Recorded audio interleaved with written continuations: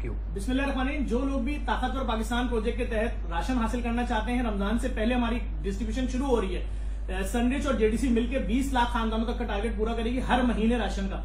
आप जो फॉर्म भर रहे हैं, जो लोग वो गलती कर रहे हैं, पचपन हज़ार लोगों ने सिर्फ़ कल गलत फॉर्म भरा है। भाई, इसके साथ ही वीडियो अटैच है, उसमें सीख लें कैसे फॉर्म भरना है। वैसे फॉर्म भरेंगे डेटा हमारे पास आएगा टीम वेरीफाई करेगी, अगले दिन ल्यूपर्ट वाले आपके घर में राशन पहुँचा देंगे।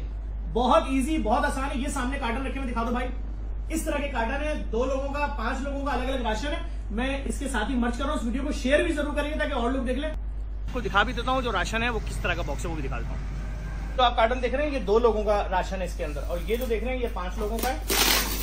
ये देख रहे हैं ये मैं इसलिए दिखा रहा हूँ जिन लोगों ने अब तक रजिस्ट्रेशन नहीं कराई है करा लें। ये देखें भाई इसके अंदर ये सुपर कर्नल बासमती चावल है पाँच किलो। इसके अंदर एक दो तीन तीन लीटर तेल है, इसके अंदर ये चीनी है, इसके अंदर ये सनराइज का आटा है, पाँच पाँच किलो के ये दो पैकेट है लिख लें। ये दो पैकेट है, ठीक है?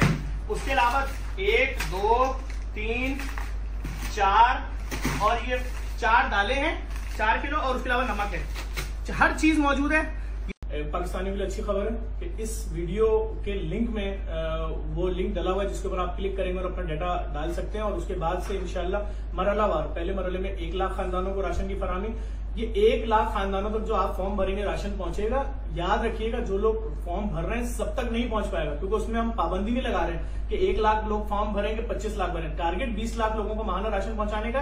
पहले मरहले में एक लाख लोगों तक जाएगा, जो वेरिफिकेशन टीमें हैं, वो दिन में तकरीबन साढ़े तीन हज़ार घरों को वेरीफाई कर रही होंगी और हमारी कोशिश होगी जैसे ही वेरीफाई करके लाए नेक्स्ट डे उनको लिपर्ट के थ्रू ये पहुँचा दिया जाएगा।